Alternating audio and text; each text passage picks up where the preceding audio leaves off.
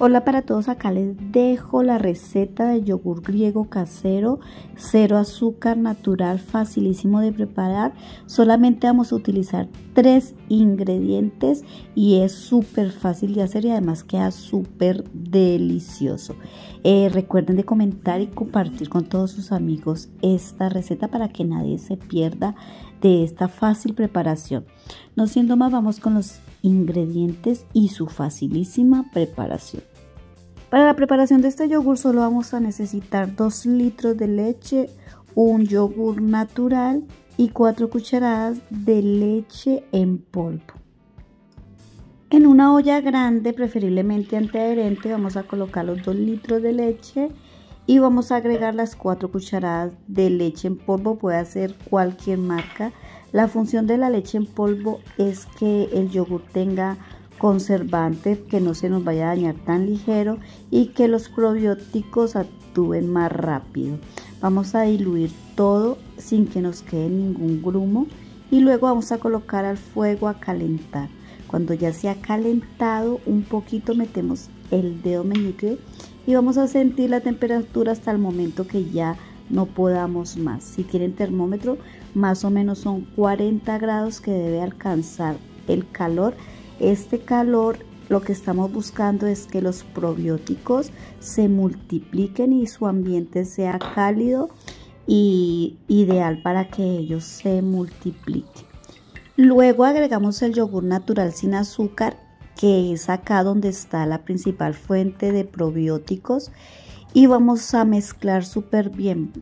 Metemos en un tupper o un recipiente que puedan tener una tapa que no se vaya a regar y vamos a tapar súper bien. Yo cubro con una toalla de cocina como para darle más calorcito y lo envuelvo en una tula especial que tengo ya para yogur griego. Yo este yogur griego lo hago normalmente cada 15 días y me dura los 15 días perfecto. Eh, de estos 2 litros me duran dos semanas.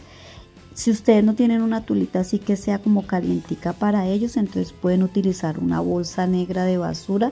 Lo importante es que se sientan como, como en la intimidad para que ellos puedan multiplicarse mejor. Yo los meto debajo del mesón, acá en el tercer piso, que es un sitio que es bien calientico y lo dejo hasta el otro día. Acá ya pasó todo el día y toda la noche.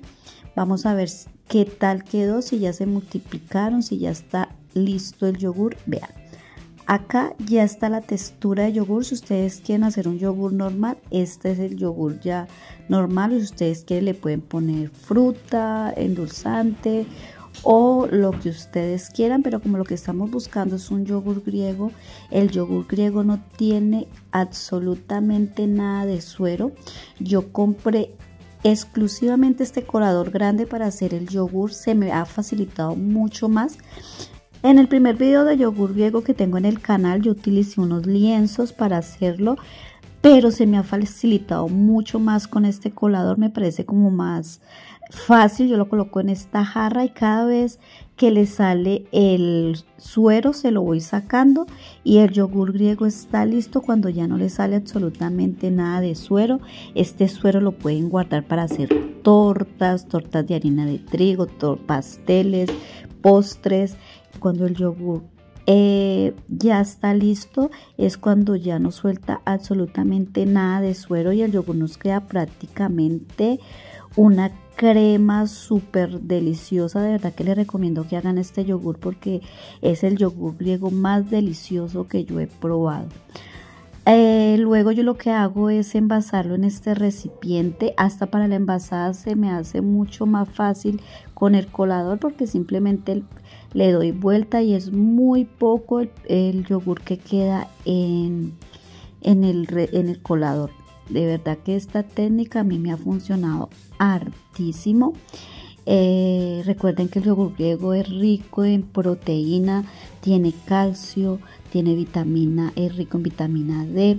Bueno, nos sirven para muchísimas cosas. Los probióticos nos mantienen súper bien el colon, entonces les recomiendo que hagan su yogur griego y lo mantengan. Recuerden que en los supermercados está súper súper, súper costoso y si nosotros lo hacemos estamos seguros de que no estamos usando eh, ni azúcares ni nada y nos va a salir mucha más cantidad.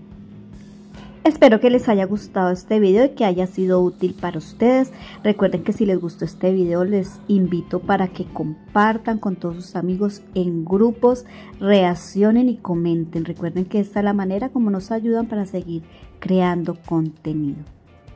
No siendo más me despido, un besito para todos. Chao, chao.